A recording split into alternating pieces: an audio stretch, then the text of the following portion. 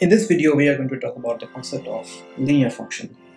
So a function f, which is mapped from the domain Rl to the range Rm, is linear if for each xy element of the domain and any arbitrary number alpha beta which belongs to the real number and a real number line. So alpha beta can be any decimal number, uh, any irrational number, or any whole number, or any number that is an element of R and if this relationship holds then we can say that the function f is a linear function.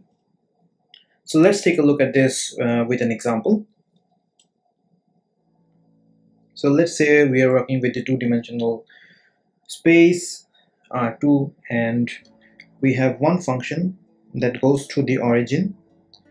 And I give it the name f of x1 so if this is x1 and if this is x2 then we say f of x1 is equals to x1 divided by 2 let's say. And let's say I have another function that does not go through the origin but does have an intercept. And we call it g of x1 such that it is x1 plus 1 alright and now let's see if these two functions are linear uh, linear functions or not so let's start with the function f. So if I try to write this function f as alpha x1 for any two any arbitrary number alpha beta plus beta y1 when x1 and y1 are two points then I can actually break it down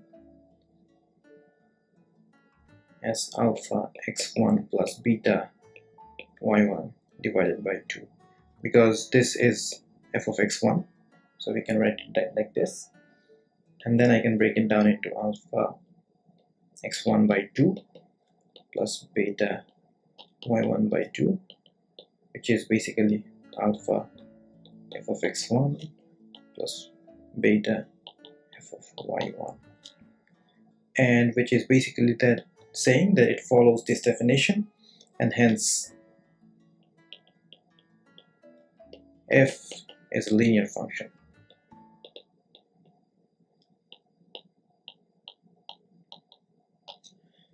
Now let's see whether g is a linear function or not according to this definition.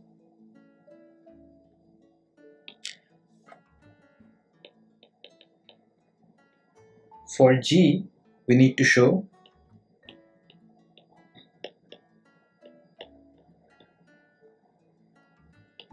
g of alpha x1 plus beta y1 is equals to alpha g of x1 plus beta.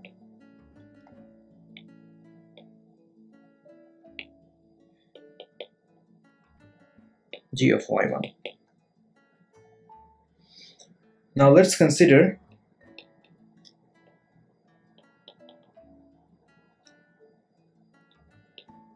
any two values of x1 and y1 let's say we, we pick x1 and y1 equals to 0 and let's consider any value of alpha beta such that in this case we consider alpha beta equals to 1 I pick these values just for the simplicity of doing the math here. Then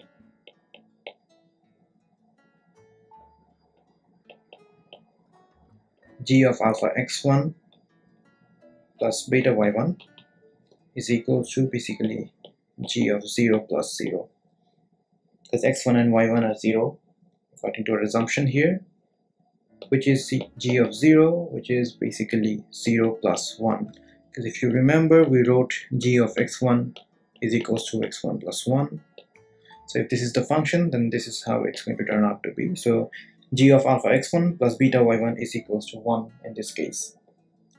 And now let's evaluate the right hand side which is alpha g of x1 plus beta g of y1 let's see what we get.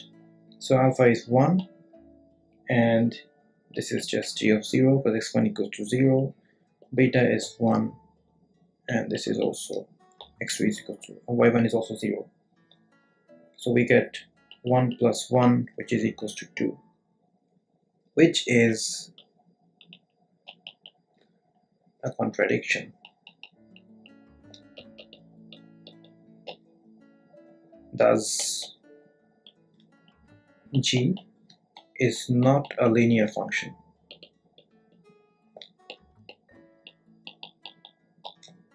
Hence, if we follow this definition carefully, we will see that a function that passes through the origin is a linear function, but a function that has an intercept is not a linear function. But instead, what g here is, it is an affine function.